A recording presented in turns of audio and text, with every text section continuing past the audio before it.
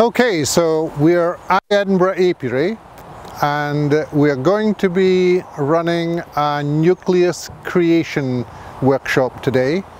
And the system we'll be using is the circle method where we put a circle of nukes around a very strong colony and we dismantle that strong colony to make up all the nukes and uh, each nuke will get a frame of food, two frames of brood and a frame of pollen.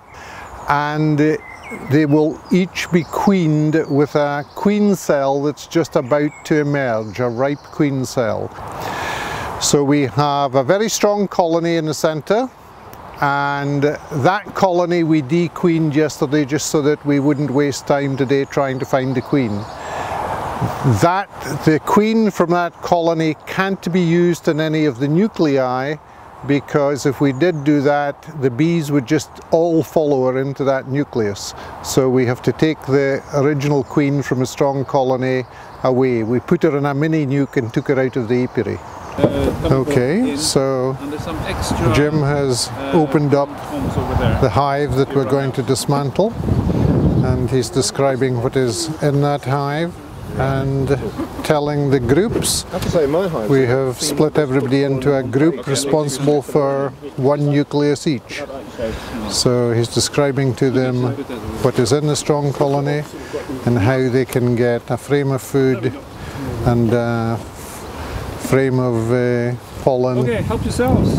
And uh, frames with plenty bees on them. So now the groups are going to go into the hives and they're looking to get the frames that they need to populate their nucleus box. The nucleus boxes are of course spread in a circle around the main frame main hive.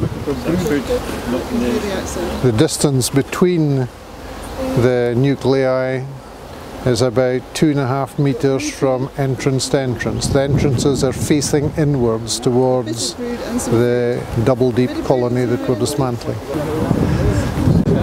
Everybody trying to equip the nucleus box with as nicely a balanced population as possible. Flying bees are beginning to kind of circulate and what will happen eventually when the double brood box is removed from a centre, the flying bees will go and seek entrance to the nukes and they tend to fairly evenly distribute themselves over the five nukes. Okay, so now what we've got, we've got the five nucleus boxes. They've all been populated. The twin box double deep hive has been dismantled and most of the bees are now in the polynukes. And so the polynukes are now started to orientate. I see bees coming out. Okay, so now that we've got all the nucleus boxes populated, the next step is they all need queening. So we are going to queen them with a ripe queen cell.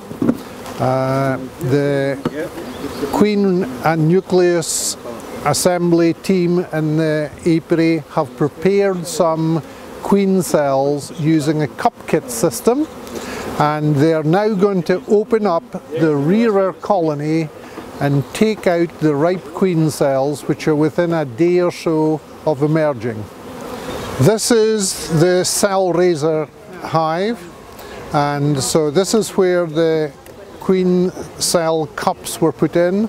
It's a very strong hive, lots of young bees, uh, nice uh, prosperous hive and that is the hive that has been raising the queen cells. Queen cells were harvested in cup kits from the mother hive, which is this one next door. So this is a nice queen that we want to breed from. And so we trapped the mother queen in a cup kit grid got her to lay eggs in the little plastic cups and then these cups were transferred to their holders after they had hatched. So when the larva was 12, 15 hours old, they were transferred to the holder bars in this rearer hive. Okay, and this is a So we're now carefully taking this is out job. The- one will follow. cells.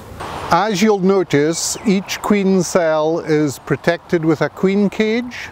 These were put on two days ago, just in case there was an early emergence of a queen, in which case she would have went round and killed all the other queens in their shells. Queen cell. Or you just want the queen cell. The queen cell, yeah. So we're now taking the cages off with a little bit of care. So the queen cell is attached to the plastic Who is in cup. And Right. here it is, and here's a queen cell go. appears. Pick it up and don't So drop it. Uh, right. Okay. That's my lot. number one is way to their nucleus hive to insert it. That will be put into the hive between the two frames of brood.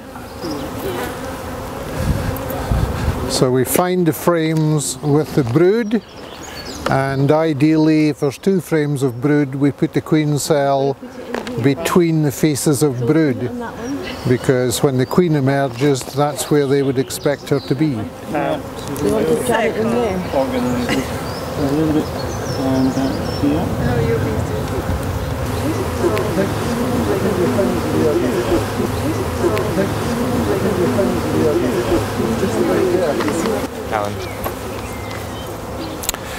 So we're taking away the sheet now, just in case there's any smell of the old hive, it would attract the flyers, but they're not interested in that area now. They've, they've decided that uh, their original home is well and truly gone, and they're uh, redistributing themselves around the four nuclei we've ended up with here.